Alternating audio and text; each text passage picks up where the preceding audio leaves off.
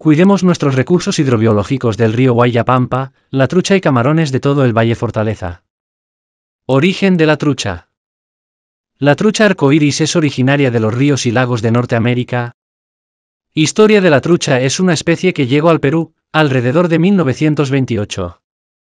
Las primeras truchas llegaron de los Estados Unidos a los ríos de la cuenca del Mantaro en Moncayo. Actualmente este pez ha sido introducido en todo el mundo gracias debido a su exquisita carne.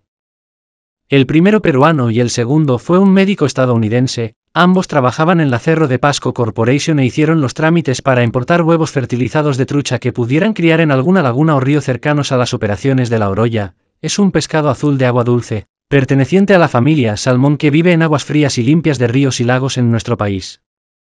Actualmente forma parte de la alimentación de las familias peruanas, especialmente en las zonas altoandinas.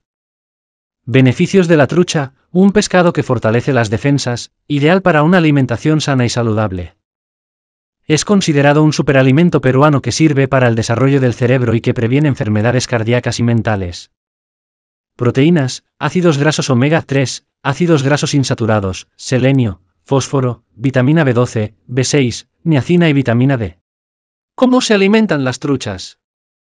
En la naturaleza, las truchas adultas se alimentan de insectos acuáticos y terrestres, moluscos, crustáceos, huevos de peces y otros peces pequeños, pero el alimento más importante son los camarones de agua dulce, que contienen los pigmentos querátenoides responsables del color rosado naranja en la carne. Etapas de vedas.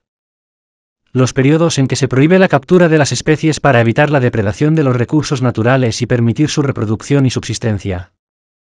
La resolución ministerial produce, publicada en el Boletín de Normas Legales del Diario Oficial El Peruano, todos los años las fechas de veda de truchas, camarones y otras especies en el mar, a fin de cuidar su depredación. Prohibición de pesca en el río Guayapampa y el Fortaleza.